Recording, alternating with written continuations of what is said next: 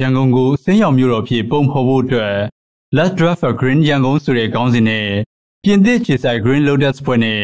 ရန်ကုန်စီပင်တာယာရေးကော်မတီတို့ January 30ရက်နေ့မှာပူးပေါင်းပြီးဆွေးနွေးပွဲတစ်ခုကျင်းပခဲ့ပါတယ်။ရန်ကုန်ဟာတကယ်ပဲစိမ်းရောင်မြို့တော်ဖြစ်နိုင်ပါအောင်မလား။ရန်ကုန်မြို့လက်ရှိခံစားနေရတဲ့တဘာဝပတ်ဝန်းကျင်ယိုယွင်းမှုကိုအပြည့်ရှာကူစားဖို့နဲ့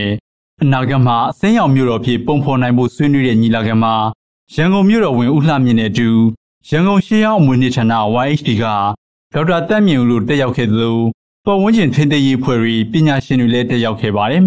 ။အများပြည်သူတည်ယူပို့ဆောင်ရေးကိုကောင်းကောင်းမလုပ်နိုင်သေးတာကြောင့်ကိုပိုင်ကားတွေများနေတဲ့ရန်ကုန်ဟာ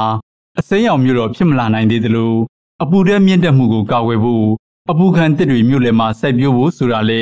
ခက်နေတယ်လို့ဒေါက်တာတိုးအောင်ကဆိုပါတယ်။ရန်ကုန်ရဲ့အဆောက်အအုံဆောက်လုပ်မှုနဲ့ရေပေးဝေမှုအမိုက်စွပစ်မှုတွေကို အစိမ်းရောင်ဖွံ့ဖြိုးမှုစီဥတီသွားမှာပါလို့ပြောပါတယ်။ဒီကိုပိုင်ကားတွေစီးနေလို့ကတော့ဟို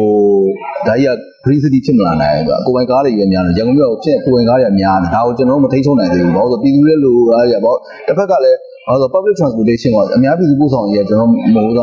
ကောင်းမွန်မဖြစ်သေးဘူးအဲ့ဒါကိုကျွန်တော်တို့ကကောင်းမွန်လုပ်နိုင်မှဒီကိုယ်ပိုင်ကားစီးရတယ်ရှော့ချနိုင်မယ်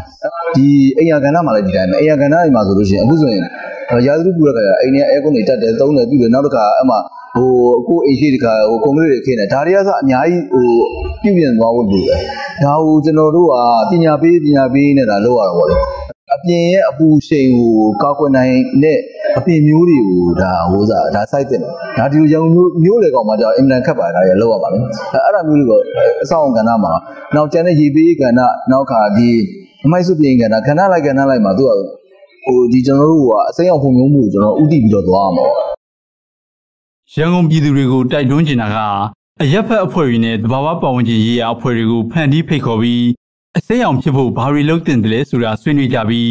ရန်ကုန်စီပင်နဲ့ပူးပေါင်းဆောင်ရွက်ကြဖို့ဖြစ်ပါတယ်။စီးပွားရေးတိုင်ဝမ်ကလည်းအစိမ်းအောင်ဖြစ်ဖို့ဆိုတဲ့ရည်ရွယ်ချက်နဲ့ကူညီကြမယ်ဆိုရင်ဖြစ်နိုင်ပါတယ်လို့တိုက်တွန်းသူက Green Lotus ရဲ့ဥက္ကဋ္ဌပါ။ organization to debate, to make some proposition, to make some action, to build project and to work with the, the YCDC, to work with the authorities and the business sector